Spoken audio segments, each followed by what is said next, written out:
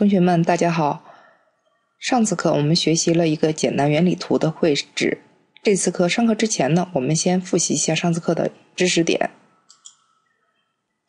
首先，元器件拖拽、元器件放置和角度调节、总线绘制、分支线的绘制、电气节点的概念、电源和地以及网络标号。我们以一个案例来看一下这些知识点。首先，我打开了一张原理图。还记得我们元器件的拖拽是从哪儿拖拽的吗？对，在右侧的 library 里边有一个库文件，然后我们可以从从这儿随便拖拽。然后有两种方式，一种是鼠标直接拖拽过来，比如说我这样拽一个元器件过来，当然这个是没用的，我们先删掉。第二种方式呢，选中以后直接用 place 就可以放多个，而且我们可以自动生成这个元器件标号。还有呢，就是元器件的角度调节，选中这个器件以后，按空格键，它就可以九十度的翻转，每按一次，翻转一次。好了，上次课呢，由于我们的案例比较简单，没有涉涉及到总线和分支，这次我们看一下总线和分支的绘制。总线的绘制就是这这条线。这个功能按钮选中了一条，就是比我们平常用画线的工具要粗一些。九十度角呢，直角和九十度角是切换是 Shift 加空格的快捷键，希望大家也记住，因为这个是我们常用到的一个快捷按键，Shift 加空格在直角和四十五度角之间切换。分支线呢是这个标号。这个呢，和我们元器件的调整方向是一样的，是用空格键，可以每摁一次进行九十度的一个调节，这样就可以绘制我们的总线和分支线，是不是跟这个出来的效果是一样的呢？嗯，当然我的画的是跟它是反的，我们要是调整的话，就这样调整一下就好了。这个都没有关系的，跟我们根据我们原理图的形状来。做就好了。其实我们也可以每一根线每根线连过去，但是这样的话线就会非常复杂。比如像这样，我们可以很顺利的知道，哎，它是去向哪儿的。但是如果有三根线呢，几根线呢，它其实功能是一样的，但是呢，看起来就会很乱。还有一种，这是一种方式，我先把这些删掉。还有一种方式呢，就是网络标号的形式。再换一个原理图，比如在这个原理图中，大家可以看到，我每条线上都有一个网络标号，net 在这个位置，这是它的 net 勾幺五，它的名字是勾幺五，这是它的网络标号。其实，在我们有网络标号的情况下，我们不用总线画，实际上。效果也是完全没有问题的，它也是代表的一个连接。比如说，大家可以看到，在这个位置有一个勾一的网络，和这个位置勾一的网络是代表的同一个连线，就代表它两根线是相通的。然后勾三呢，这有个勾三，它们代表这两条线是相通的，不会因为这一条总线连在一起，它们就整个连在一起了。大家要理解一下这个概念。顺便呢，网络标号的概念。大家也能理解了吧？其实网络标号就代表物理上的连通，而他们这个电气节点呢，这个电电气节点也是代表网络上的连通，也是代表物理上的连通。这两条线是连在一起的，这两条线是连在一起的，这两条线是连在一起的。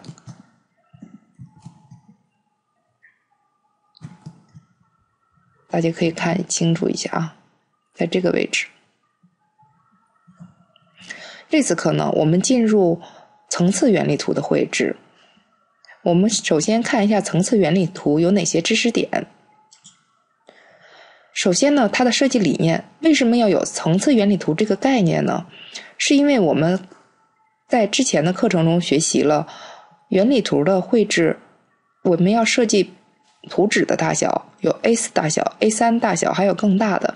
但是实际我们打印中是不是一般 A 四纸和 A 三纸用的比较多？再大的图纸，我们打印也不好打印。这样就意味着，如果我们把图纸可以在一个很大的幅面中画出来，但是造成了我们打印输出并不方便。这样呢，就有一个层次原理图的概念，就是我们可以把复杂的电路图分成若干的子系统，然后呢，每个子系统代表一定的功能含义。然后这个子系统就相对可以放到一个比较小的图纸里头，这就是层次原理图的概念。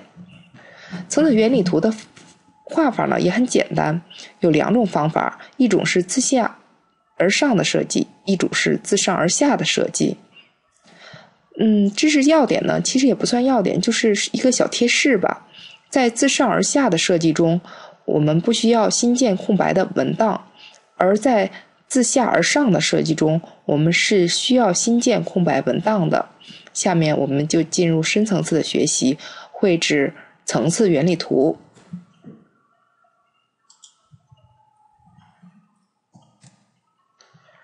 这里呢，我们已经有两张做好的原理图。这样呢，我们先以自下而上的这种层次原理图设计方式来为例，是做了一张。层次原理图，首先呢，我们先新建一张原理图。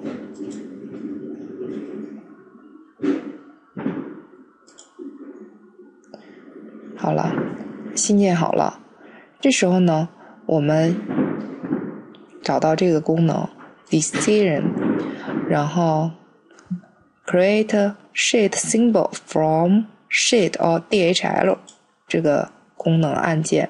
然后呢，我们可以看到上面有两个选项，就是分别对应我们刚才的两个原理图。我们先选第一个，点 OK，看看会发生什么。它自动生成了一个原理图的模块，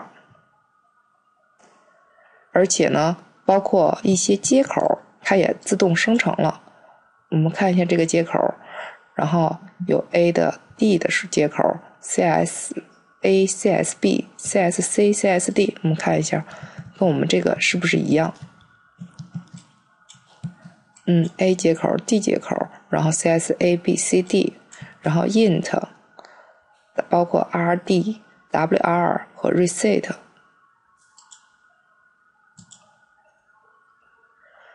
这个都有了，对吧？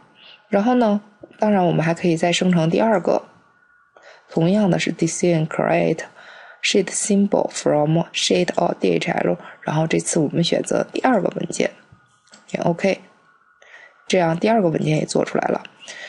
做到这一步呢，其实基本上就算完成了。然后我们按上次学课学的内容，把相应的相同的信号连接起来，这样呢，这个层次原理图就完成了，是不是很简单呀？层次原理图呢，其实是。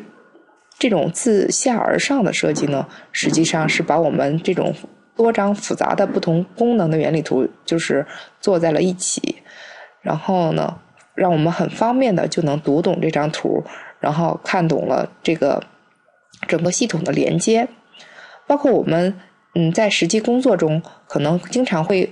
一个系统可能经常会有几个板子，然后比如说这个板子是电源的板子，这个板子呢可能是一个主控的板子，然后可能我们电源板子只是输出电源给主控去供电，然后主主主控出来呢可能又会控制很多的那个接有很多的不同的接口，比如说控制液晶屏的，控制各种传感器的呀，然后我们可能又会有另外一个模块。这样的话，很方便的，我们去进行读图。这个自下而上的层次原理图，我我就介绍到这里。那还有一种画层次原理图的方法呢，是自上而下的绘制层次原理图。那我们先新建一下，因为我们刚才说了，我们要我们先建一个工程吧，重新建一个工程。重新建一个工程以后，我们再新建一个原图文件。其实我们实际上可以把刚才这两个模块也叫做方块图，给它复制过来。但是我们还是用我们传统的方式自己新建一个吧。然后它有两种方式，第一种呢是直接选择在菜单栏中的这个原理图标号来直接拖拽，这就出来一个。还有另一种方式呢，就是放置 place，然后找到这个 sheet symbol，然后放到这里就可以了。这两种方式都是可以的。然后我们先了解一下这个方块它都有什么意义。这个位置 location 就是它的一个坐标位置，很明显能看到 x 轴尺寸、y 轴尺寸，包括它的一个颜色。这个选中以后就说代表没有填充颜色，如果打上勾呢，就会有填充颜色。这是填充的颜色。这是边框的选择，我们可以选择最细，当然也选择细，或者是中等，或者是最粗。我们选择默认的就好了。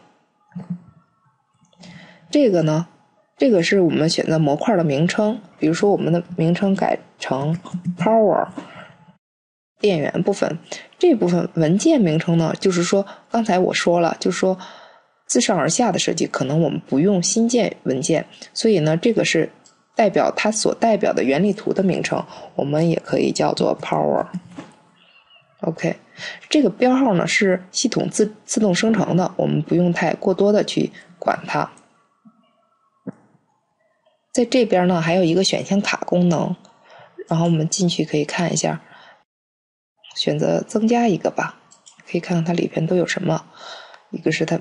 它的名字、注释名字、注释的内容、x 轴位置、y 轴位置、颜色，然后这是字体的更改、类型，包括我们自动生成的这个 ID，还有角度，还有一个方向等等啊，我们有一些了解就行了。好，选择 OK。这个现在看，我们这个图和之前生成的图有点什么不一样呢？哦，好像还缺一些接口符号的标志。自上而下设计的系统，相当我们是先把框架定出来。我们比如说画了两部分，一部分这个既然叫 power 了，肯定我们是一个供电部分，那我们肯定需要有电源的输出。这样的话，我们要选择一些。接口符号来表示电源输出。放置的方式同样有两种，第一种呢是直接拖拽工具栏中的这个标号，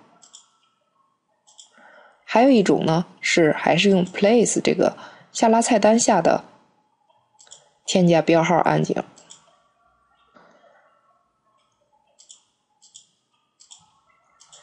都可以。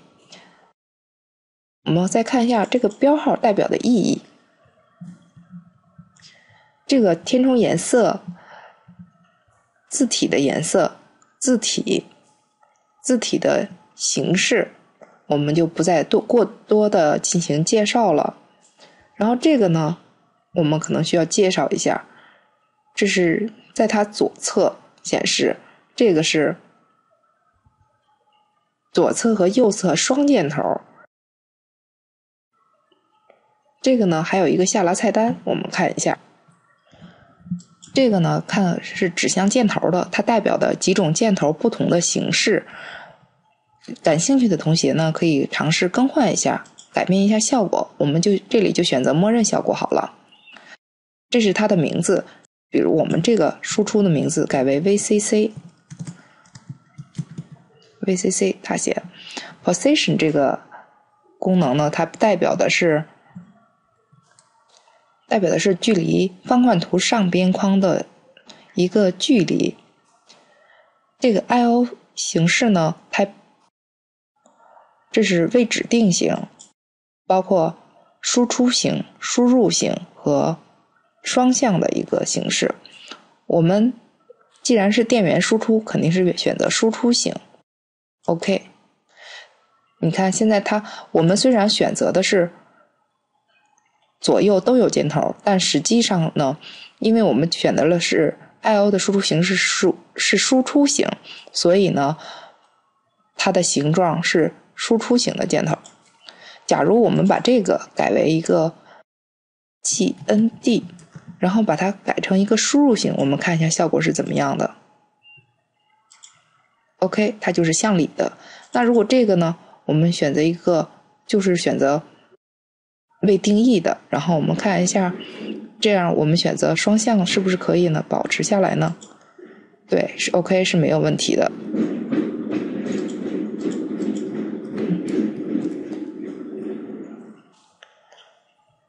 然后这面呢，因为我们是代表了子模块，然后首先我们改变它的名字，我们叫做一个呃 Control 吧，控制电路。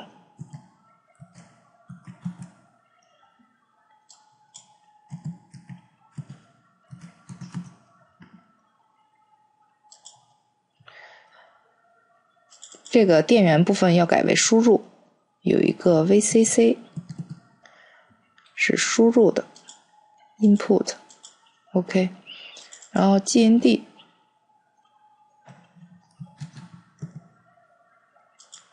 也是输入的，OK，然后我们再把这个画到这边吧，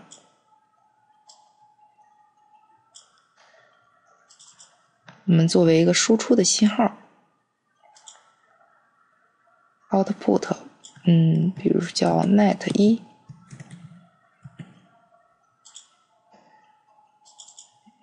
这个叫 net 二，OK。当然后边我们还可以继续增加模块。现在呢，我们只是把这个连接起来，往下移一点，这样弯一点。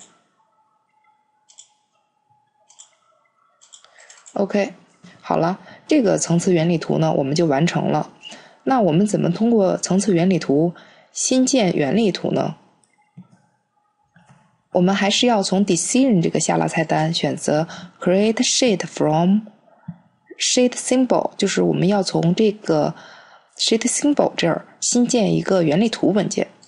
好了，然后现在鼠标成为十字形状，然后如果我想从这儿新建的话，我就点击进去，然后自动新建了一个名字叫 Power 的原理图文件，而且它有两个接口，是我们当时建的 VCC 和 GND。